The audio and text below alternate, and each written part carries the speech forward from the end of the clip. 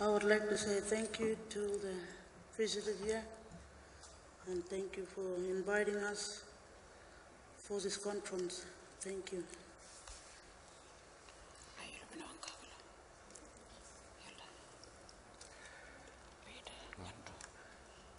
In, in 1981, the Pintupi people moved back to their country. Um, most of them came out of Papunya, Haasts Bluff, and outstations around that area. Um, many of them had only come in out of their country uh, 20, 30 years earlier, and um, ever since they had come in, they were keen to get back out to their country. So in 81, they moved back out there. Um, initially, the healthcare was provided by Liapa Congress, which was the Aboriginal Community Controlled Health Service, which with Congress in Alice Springs, with the help of Congress in Alice Springs, had been established at Papunya. So the Pintupi people, when Liapa Congress started in 1978, the Pintupi people were living in that area and they knew about Aboriginal Community Controlled Health Services. Initially, Liapa Congress provided support to them while they were uh, for the people out uh, at Kintore, where they uh, established the first uh, community. Um, but then there was some community politics at, um, at um, Papunya and Liapa Congress uh, that was taken over by the Northern Territory Health Department. And then, but the, the, the Pintupi people were really keen to have their own health service. They were out in their country, they, were, they felt they, had they were taking control of their lives, they wanted this a school and they wanted their own health service. So again, with the help of Central Australian Aboriginal Congress, uh, they uh, put in a submission to the Commonwealth Government and um, at uh, the end of 1983, the Commonwealth Government announced that they would be funding um, the health service to be based at Kintore, which uh, the Pintupi people called the Pintupi Homelands Health Service because they saw Kintore as just being the first stage that they were repopulating their country, um, all their homelands. Um, um, I had heard this story. I'd, um, I'd worked at Congress and then the Pitjantjatjara Homelands Health Service and uh, then with the Australia mob over in Western Australia and had come back to Alice Springs in 83 to help set up Nganampa Health Council on the uh, APY lands um, and was thinking maybe I'd, uh, once that got started, I'd, uh, I'd work down there. But then I heard that funding had come through for the, for the health service at Kintore and I thought, yes, I'd like to go and work out there. So I applied for the job and um, in December 83, I got flown out to, uh, to Kintore um, along with uh, two or three nurses who were applying for two nursing positions and, um, and another doctor who was applying for the job. That was Dr. Peter Tate, who many people would know here. Um, he's a long-term Congress uh, GP. Um, he was known to the Kintore mob because he'd the um, Congress had been providing support to them out there and he'd been visiting out there regularly. And he was a very good GP, so I knew the uh, competition was pretty stiff. But during my interview, when I told them I had a pilot's licence, I saw everybody's eyes light up and I thought, yes, I've got this job. And sure enough, they offered me the job. And that pilot's licence turned out to be useful later uh, in 84 um, um, um, when, uh, when a, an aeroplane became available to help uh, provide healthcare out to Kiwirrkurra, uh, where people moved during 84. Um, so the, the full team really started out there, I think, on the 1st of February 1984. So there was myself um, as the first GP, there were two nurses, and there were uh, three very good health workers there. There was Marlene, who was working then as there as a health worker, and and I can say that I've worked with lots of health workers over the years, but I would say that Marlene Nampitjinpa here is one of the best that I've ever worked with. She's an outstanding Aboriginal health worker. The, the other two um, um, health workers were also very good health workers. They were the parents of Victor. Um, um Victor's dad was a, uh, a Ngangkari and a health worker and a very um, respected senior man in the community, and uh, his mother was uh, also there working um, as, a, as a senior woman um, as, uh, as part of the health team there. Uh, soon after uh, soon after that, two new health workers were appointed uh, because there were plans for, for, a significant proportion of the, um, of the community, of the Kintore community, to relocate further west out to Kiwirrkurra. And they knew that, that um, the, the expectation is that there was that the Pintupi Homelands Health Service would uh, provide the health care there, but they would need to have health workers on the ground there. So two people who uh, were amongst the group that were planning to move to Kiwirrkurra, Kiwirrkurra were appointed early in 84 to start learning about, about health work so that when they did move out there they'd be able to just um, uh, hit the ground running as Aboriginal health workers. There was also a very highly regarded Ngangkari whose um, uh, portrait uh, you saw there um, um, in, that, uh, in that film, um, who was living at, Kiwi, at uh, Kintore at that time. His name is Dr. George, or is known as Dr. George Tjapaltjarri. Um, he and I started working together very closely um, soon after I started there, and I remember there was a community meeting um, quite early on in the piece um, where people said, we're, we're paying this doctor, but we're not paying that doctor, and yet they're working together, so we should pay him a salary as well. So he uh, became a salaried member of the team, and uh, he continued to work um, as a Ngangkari there with the Pintupi Homeland Health Service for many years. After I'd left and other doctors came, um, he would work there um, alongside those doctors as a, um, the, the, two doctors. It was a system that worked extremely well. Um, so we started off with pretty small beginnings. You saw the old clinic up there. It was just a modified demountable, um, but it was uh, it effective. It served a purpose, and we were able to provide um, a reasonable quality of healthcare, I think, with such a good team. Um, in those days, uh, the big health problem we were dealing with in those early days, in the early 80s, was um, um, infant health. Um, the, young, the, the, little kids um, uh, failing to thrive and just recurrent diarrhoea was the big problem. And every morning in the clinic, well, Panya, that um, we'd see all these mothers coming in with their babies with diarrhoea. And so soon after we started, we created a different space for a mother and child sort of um, area where the health workers and one of the nurses could sort of work with the mothers and the babies to, to help them and we could do, deal with other issues uh, in the main part of the clinic. Um, there were a lot of challenges, there were a lot of dramas, there were a lot of health problems to deal with, but it was also fun because I could, I could say that Victor's father was one of the funniest men I've ever known. And so a lot of the time we were just rolling round on the floor, literally laughing at his stories and his antics. But yeah, he was just, he, he was a very, very funny man. Um, so, you know, that was the story, and I'll let others sort of tell their parts of it. But could I just say that there was an incident that happened um, soon, not too long after I'd arrived out there, I mean, I'd come out there and um, I was just struck by the sheer beauty of the country out there. It's the, the Gibson Desert, um, named after uh, an early explorer who uh, perished through lack of water. So it's, it's harsh country, and it's, but it's starkly beautiful, and I was really impressed with that country. And um, I was driving with um, a Tjapaltjarri that passed away, who was working as a health worker, out to Kiwirrkurra when people were just starting to, to go out there and um, put the buildings there so that people can move out there.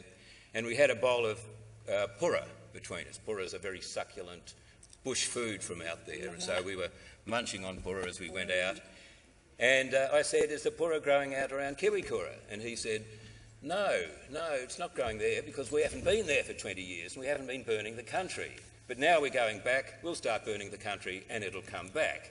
And it was the same at Kintore, he said. But when we came back out here a couple of years ago, there wasn't any pura, but we started burning the country and now we've got our bush food again. So I realised that, you know, when that exodus happened out of Papunya and Haasts Bluff for the Pintupi mob going back to their country, it wasn't, they didn't see it as going back into a desert. They were going back to their country, they were going back to a garden, an untended garden, but was, they were going to start tending it again, uh, tending it again. And they're still out there, they're still tending the garden, and they're still very proud of having their own health service. And I'm certainly very proud to have been part of it back then, 30 years ago, and now I've got the privilege of, of continuing to have that association with them as a board member. So thanks very much.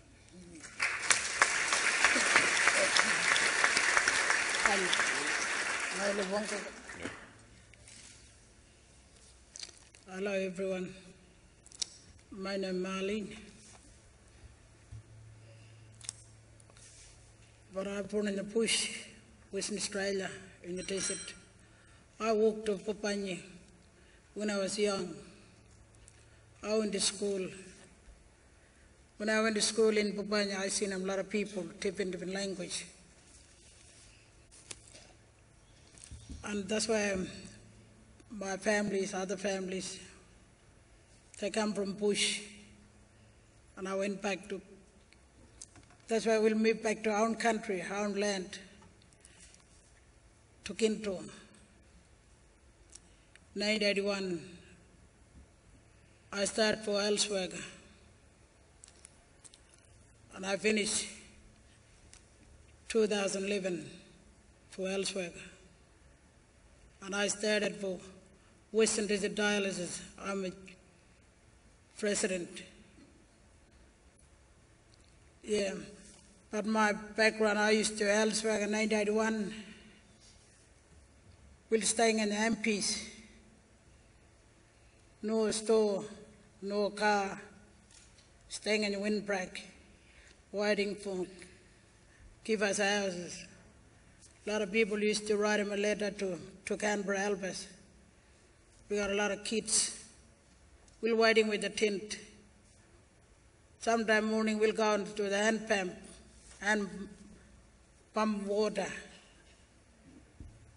Wash him with them, clothes, clean him, kids. I used to wash him bottle on the outside in the clinic, we had a little carabine and six battery, and I used to talk on the radio to Popanyi and to BCIT, to Dr. Blind, help us. But we, that time we had no airport, really hard time li- living, and school. They used to to school in MPs and talk box with the books. I used to um, eyeing kids in a tree, in a bag, in the scale, weighing kids. Really hard time. Give them Katsek medicine, write him a name, talk on the radio to Popanyi, for doctor want to come and visit him every fortnight. And we got no car. We got one tractor and one two from white men working to help us that time. We ring, I used to ring to Popanyi, come and visit him, you know, sick ones, give him right medicine. And one of them, my health work again, this father and this mother will working, long time, 1982. 933. We're working really hard with the kids. We got no vegetable, no trucks, no food. We go hunting, find them kangaroos, some people, young people, for shooting kangaroo. Really hard. On one big truck bring to, to Kinto, to store put him in a little tin house, and big truck was with the generator, save him a little bit meat. I remember. Really hard time. But now, today's, we got a airport, police station, school, art gallery, school, and renal. Because I went to Canberra, our doctor gave us no clinic. Because a lot of spider running around, mass, cockroach, leaking in the water on the clinic, a lot of trucks. That's why I went to Canberra. Can you help us? Give us new clinic. Give us, you know, something, money, you know, help us to pick it. Now we got new clinic now. They give us one million dollar for that clinic. I went to tell them true story too, in the Canberra. And I'm worked for for for Western Desert Dialysis. I'm a chairman. I've worked for Mount area, helping for my people. I'm still here. Yeah, thank you for my story.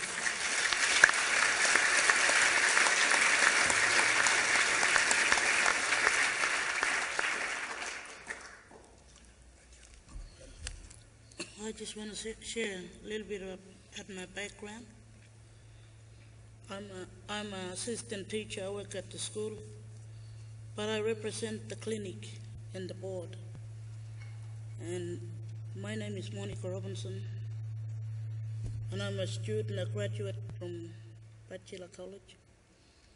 Recently, I graduated, and after that, I went for my award for my finals, NT award, but didn't make it. But I just want to share some stories about the history of Kintore, how Kintore was clinic came.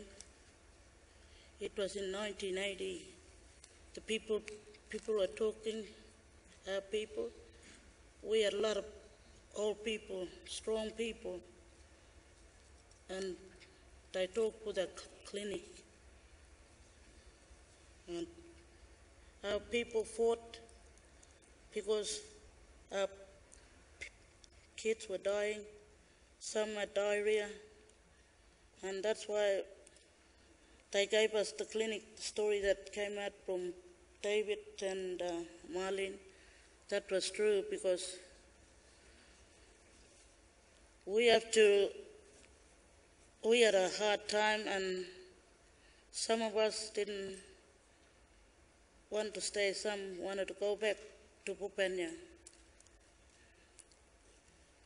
But still the Pintupi people stayed at Kintore and fought for their lives, fought for the clinic, and keep on talking and made the clinic come up. I just want to say a little bit of story about the background of the clinic. That's all I just want to say,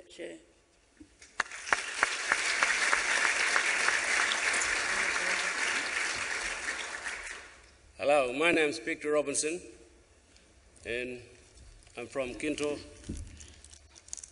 That we were in Darwin, we were, we were doing a course in Darwin, and we had the people moving out to Kintore in 80s.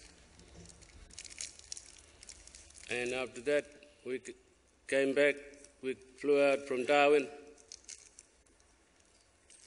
and we stayed one night at Papunya, and my father, he moved out with caravan with, uh, to help the people with medicines.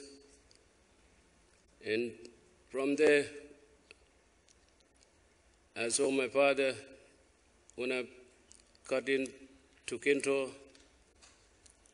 We stayed there at Kintore.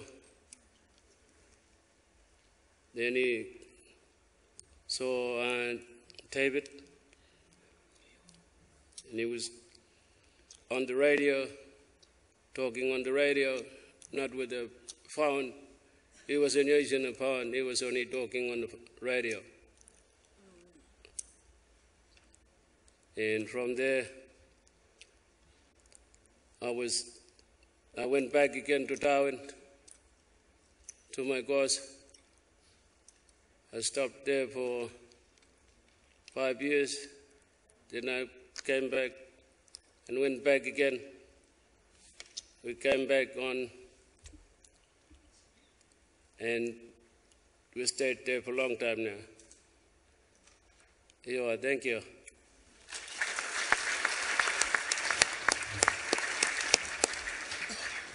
Ladies and gentlemen, please put your hands together for the board members from Pintupi Homeland Health Service. They're turning 30 next year.